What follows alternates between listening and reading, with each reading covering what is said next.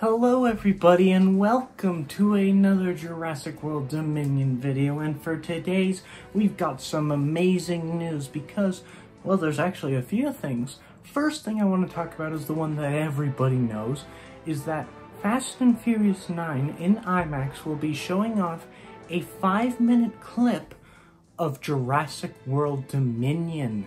Yes, the big news that we were expecting was here. Many people assumed this is what would happen, like, they assumed it would be like probably a little teaser trailer or something for Fast 9 that you would only be able to see in theaters, but it is official what it is, and a five minute clip.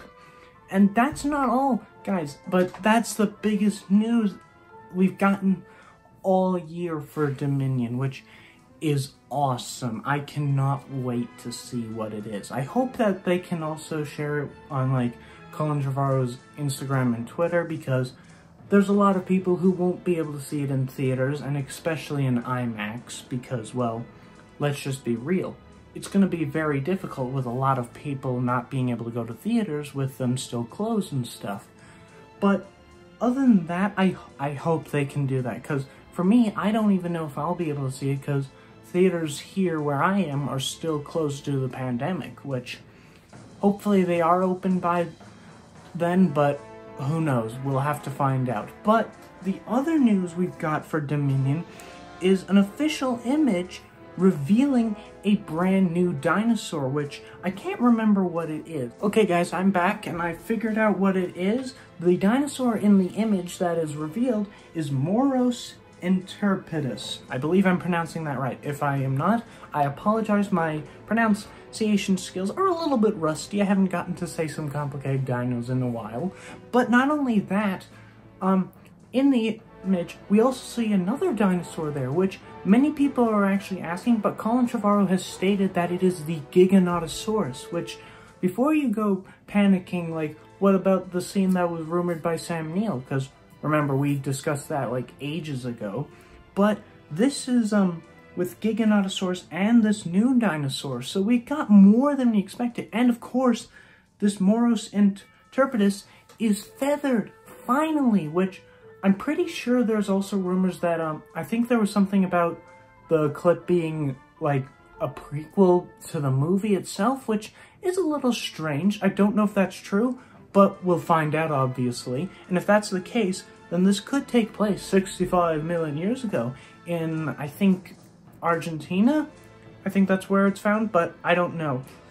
But guys, we're going to have to leave it there. That's all the news we have so far. I'll cover more if there is more. So sorry guys, we're back here again. I know, same video and stuff, but as of starting to edit this, again, there was more news posted about the um, clip two things that were discovered. One is that it's going to be sort of a pre a time travel clip where we're going back to 65 million years ago where we're going to see some dinosaurs in their time, which is very interesting. I don't know what it's going to what importance it's going to be and stuff. But the other news that we have to talk about is that there are seven new dinosaurs confirmed.